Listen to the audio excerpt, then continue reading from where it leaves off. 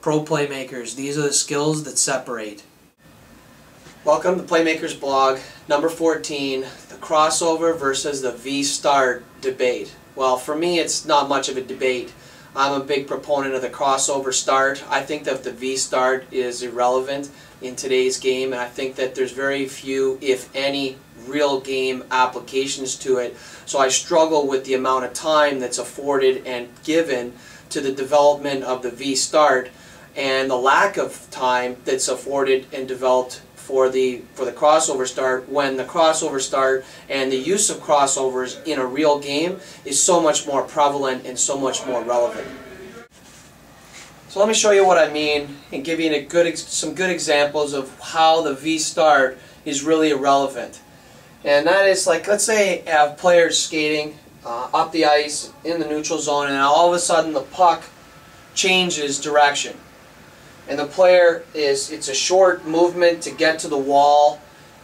And my argument is is that in any game that you watch in the National Hockey League or any level for that matter players natural reaction is going to be to put on a brake and then cross their feet to get to the new direction. And the reason why is because they're already facing this direction. But they want to go in that direction so in order for them to do that, they're going to stop, and to do a V-start, they'd have to stop with both feet, and then turn their shoulders, and then get into this V, and then move. It, to me, it's just not practical, and it's not relevant in today's game. The other issue with efficiency is, is and where the V-start is used the most, where it's not even in a start, it's in a restart. So what that means is a player's moving, he's accelerated from, say, here to here, now he needs to read the play, so he gets his feet apart, and he's resting and moving. And as he's moving, he sees an opportunity to accelerate. And he's going to accelerate to a loose puck, accelerate to forecheck, accelerate to get the pass, wherever it is that he's going to accelerate. So now he's going to accelerate here. In order to accelerate from there, a player that uses a V-start puts himself at an efficiency disadvantage. A player who's going to use a crossover is going to cover a lot more distance in a shorter amount of time. So that is really the definition of speed, is distance, a large distance in a shorter amount of time. So if I can cross my feet and gain the distance and shorten the time, I'm way ahead. Where another player, in order to cover that same distance using the V on a restart, they're going to have to use more steps to get where the, where the, to the same place that I want to go with a crossover. The other thing that I've noticed in my studies of players as they're skating and in our preparation for them when they come to see us in the off season to work on their skating is players who typically skate in straight lines or use the V as a start or a restart situation, they tend to be higher.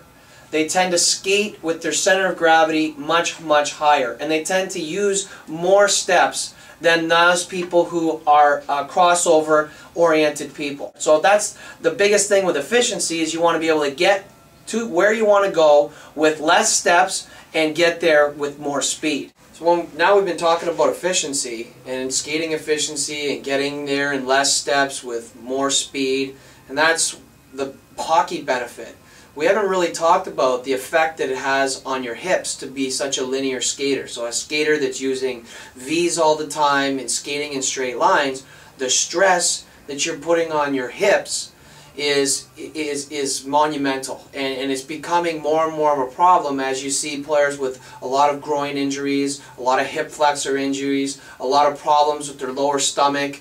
Those issues are a lot of it can be attributed to the repetitive movements of going in straight lines without being able to build the momentum. And that's the one thing that the crossover does better than any other stride is that it allows you allows a player to build momentum. And that momentum that can carry them in a larger amount of distance is also friendly with the hips. One thing that you'll notice when you watch really top-end NHL players is the, the skating patterns in which they use. So when they're in acceleration, what are the patterns in which they use? One of the patterns which really hurts if you're a V-start or a V uh, restart type of player is the re-accel pattern. So what that means is, is that when the player is accelerating, so let's say they're starting here as the weak side winger, and now they're going to accelerate up the ice. If they use a V start, it'll encourage them to stay in a straight line the entire time. So they go, you know how they, they, they talk about getting high, you do your three steps, and then you settle down into this long drawn out stride. Problem is players, especially the top players, they don't take any more than two or three straight line strides at any one time. Maybe three, that's about it. For the most part, it's crossover, couple straight strides, crossover, a linear crossover, couple straight strides, linear crossover, and that's what's really replaced these V's. And especially on the re-accel is the linear crossover. And that's a new way of, of, of skating and the new patterning because the game is so dynamic. At very few times you can be skating in a dead straight line. For the most part, you're going to be playing in a more curvilinear pattern. And that requires a lot more crossover. So the sooner you as a player can either learn to cross your feet as your initial crossover. Like I don't let anybody have a V start at any point on my ice. There's no V starts. No V starts, no re-accel V starts. Everything is based on a crossover. One of the interesting things that, really proves the point is we, run into a lot of players who are straight line players, especially at the NHL level, and they're trying to get to the next level with their skating efficiency. So from blue line to blue line, they'll take 10, 12, 14 steps. When really, if they threw a linear crossover there, I could drop that down to 4. So instead of going 10 steps, 12 steps between the blue lines, I can drop that down to 4 or 5, and when I do that, the efficiency of the player and their energy level when they get where they want to go is so much higher.